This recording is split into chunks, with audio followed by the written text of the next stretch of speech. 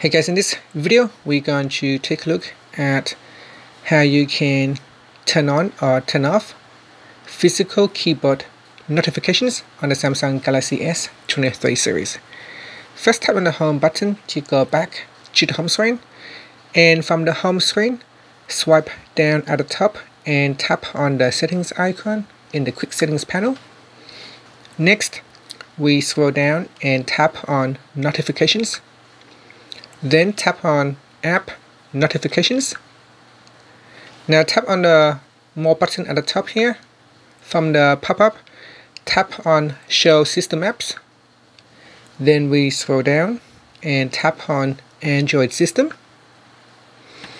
Next we scroll down and tap on notification categories. Now scroll down and then tap on physical keyboard tap on the toggle button to switch it off or turn it on.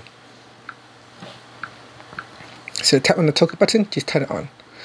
If you tap on the left hand side panel, it will go into this page here.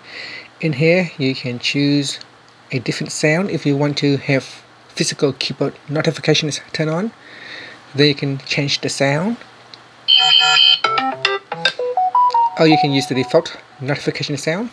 You can also adjust the volume level for the app or for this particular notifications.